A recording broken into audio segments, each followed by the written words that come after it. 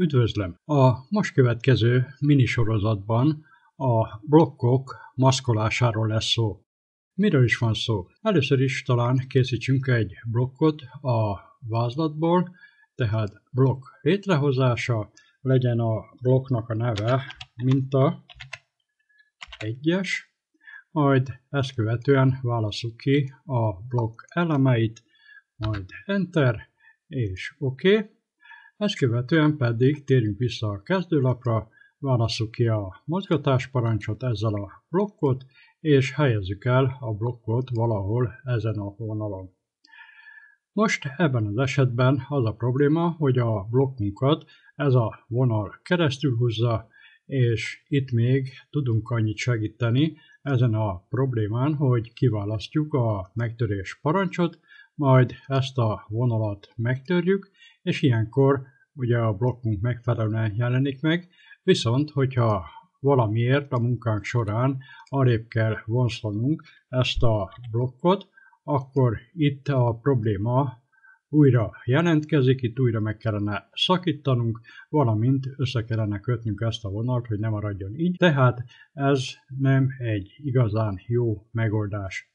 Most ebben a sorozatban olyan megoldásokat mutatok be, amelyel egy maszkot hozunk létre, és ez a maszk ki fogja takarni azt a területet, ahol a blokkunk van, és nem fog látszani a vonal.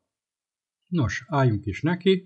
Először ki kell választani, hogy rajzolunk egy téglalapot a blokk köré, és ezt követően térjünk át a sraffozásra, és a sraffozási mintánál válasszuk ki a szolidot, majd palegér gombbal itt kattintunk egyet, akkor a straffozás elkészül. Igen ám, de itt még vannak szigetek, és ebben az esetben meg kell oldanunk, hogy a szigeteket is straffozza be. Jöjjünk ide a szigetkereséshez, ezt lenyitva, itt megtaláljuk, hogy figyelmen kívül hagyása a szigeteknek, ekkor valamennyi elem straffozásra kerül. Elképzelhető, hogy ilyenkor a straffozás egy-két elemet letakar, akkor balagérgomb a straffozásra, majd jobbegérgomb, itt ki kell választani a megjelenítési sorrendet, és válasszuk azt, hogy most a straffozás legalulra kerüljön, akkor biztos, hogy minden elem látszani fog a blokkból. A következő lépés, hogy ismételten ki kell választanunk a straffozást, majd jobb egérgomb, és vagy a gyors tulajdonságokkal, vagy a tulajdonságokkal, hogy át tudjuk váltani a straffozás színét, azt nyissuk fel, és itt a színnél lenyitva térjünk át a színpalettához, és itt a színpalettánál ki kell választani egy olyan szint, amelyet a munkánk során semmi máshoz nem használunk, csak a blokk maszkoláshoz, tehát egy olyan szint választunk ki, ami nekünk éppen megfelel. Most ebben az esetben én kiválasztom a 142-es szint, rendben van, majd ezt követően OK, és ezt be is zárom, és ilyenkor akár le is törölhetjük ezt a keretet, az már nem kell, az csak azért kellett, hogy a sraffozásnak legyen egy kerete, bár meg is maradhat, nincs jelentősége. És a következő lépés a beszúrásnál, ezekből az elemekből hozunk létre egy blokkot, tehát itt blokk létrehozása, és itt válasszuk ki azt, hogy ez most a minta 2 elnevezésű blokk lesz, ezt követően objektum kiválasztása, illetve objektumok, kiválasztjuk az objektumot, oké, okay, és most mozgassuk ezt a blokkot rá erre a vonalra, rendben van, és lehet látni, hogy a maszk letakarja a vonalat. Természetesen, hogyha ezt a blokkot arrébb mozgatjuk ebbe az irányba, akkor ez ott is működik, és nem kell kivágni a vonalat, és újra összekötni, tehát ez így megfelelően működik. Igen ám, de nézzük meg, mi történik akkor, hogyha nyomtatni szeretnénk. Kiválasztom a nyomtatást, és itt kiválasztom, hogy mindjárt PDF-be nyomtassa ki a az Itt a monokrom most ki van választva. Egyelőre nézzünk egy előnézetet. Hát ezt látjuk, hogy itt egy nagy pacni van, tehát nem látszik semmi. Ezt most be kell állítanunk, hogy megfelelő legyen. Tehát itt a monokromnál elképzelhető, hogy önnek így jelenik ez meg, akkor ezzel a nyíllal kell kinyitni. Tehát itt a monokromnál válasszuk ki a szerkesztést, majd ezt követően keressük meg azt a szint, amelyet kiválasztottunk. Ez a szín a 142-es, lehet látni, hogy feketével jelenik meg. Itt lenyitva válasszuk az egyéb részt, és itt vagy átírjuk 3x 255-re, vagy ezt a csúszkát egyszerűen ide felnyomjuk, és akkor itt megjelenik a 3x255, ami a fehér szint jelöli. Tehát ez követően okay. és itt mentés és bezárás, ezt, ezt követően már az AutoCAD erre a színre alkalmazni is fogja ezeket a beállításokat.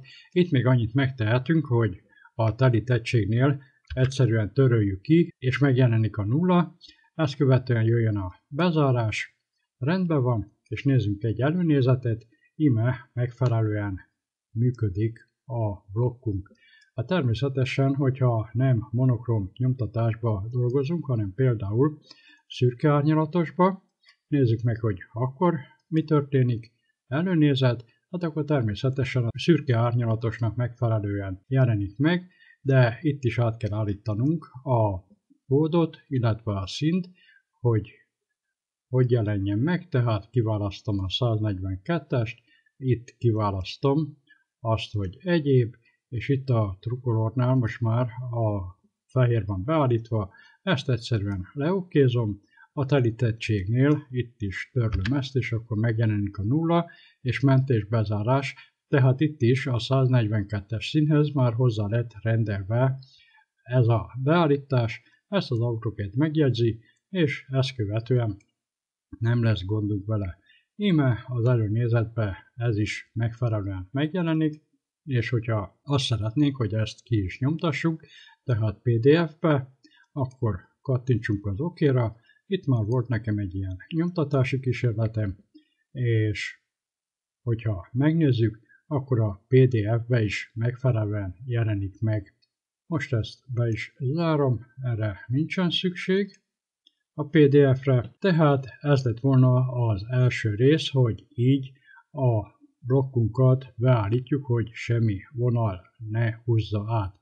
Hát természetesen abban az esetben, hogyha itt mégis utólag nekünk valamilyen vonalat kell készíteni, tehát így áthúzzuk, ezt most lekapcsolom, akkor ebben az esetben, hogyha áttérünk a nyomtatásra, és itt kijelölöm, hogy az előző nyomtatási beállítások legyenek, előnézet, akkor ez itt megjelenik, de ezen úgy tudunk egyszerűen javítani, hogy kiválasztjuk ezt a blokkot balegérgombbal, majd jobb egérgomb, és a megjelenítési sorrendnél kérjük azt, hogy a blokkunk legfelülre kerüljön, akkor már a blokkunk megfelelően jelenik meg, nem húzza át semmi, holott ugye ott a vonal, és természetesen, hogyha nyomtatást kérünk, előnézet, akkor a nyomtatásba is a vonalak kihagyják azt a területet, amelyet az elején meghatároztunk, és ahol a maszk van.